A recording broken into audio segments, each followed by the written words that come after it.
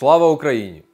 Триває 137-ма доба героїчного протистояння української нації російському воєнному вторгненню. Російські окупанти цинічно продовжують завдавати ракетних ударів по цивільних об'єктах, вбиваючи мирних жителів. Закликаємо не ігнорувати сигнали повітряної тривоги, де б ви не були на території України. На Волинському та Поліському напрямках обстановка суттєвих змін не зазнала. На Сіверському напрямку противник застосовував ствольну та реактивну артилерію для обстрілів районів населених пунктів Бачівськ, Волфине, Миропілля, Володимирівка, Олексіївка і Вовківка Сумської області та Синьківка і Миколаївка Чернігівської області. Окрім того, в районах Вовківки та Волфиного ударів завдала ворожа штурмова та армійська авіація.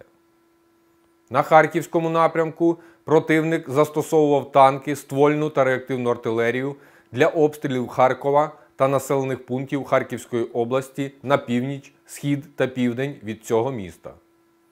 Ворог завдав авіаційних ударів поблизу Верхнього Салтова, Петрівки і Мосьпанового.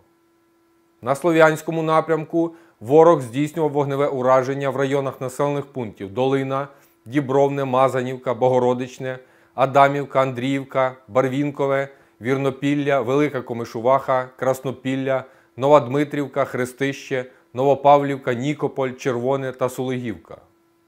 Застосував авіацію для завдання удару неподалік Богородичного.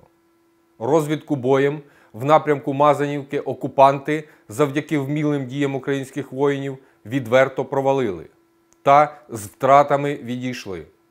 На Бахмутському напрямку противник обстрілював із ствольної та реактивної артилерії райони населених пунктів Курдюмівка, Луганське, Берестове, Виїмка, Іванодарівка, Шуми та Переїзне. На Авдіївському, Курахівському, Новопавлівському та Запорізькому напрямках по лінії зіткнення тривають обопільні обстріли із застосуванням мінометів, танків, ствольної та реактивної артилерії. Ворог завдав авіаударів неподалік Авдіївки та Володимирівки. Штурмовими діями намагався покращити тактичне положення в районі Новоселівки 2. Успіху не мав, відійшов. На південно-бузькому напрямку ворог наявними засобами вогневого ураження намагається не допустити просування підрозділів Сил оборони вглиб тимчасово зайнятої території. У готовності до завдання ракетних ударів по об'єктах на території України противник утримує в морі два носії високоточної зброї.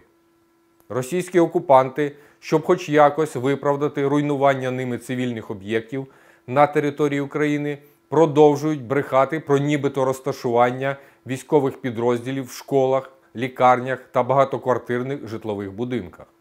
Закликаємо довіряти інформації тільки з перевірених джерел та не розповсюджувати російські фейки і дезінформацію. Віримо у Збройні Сили України. Разом переможемо!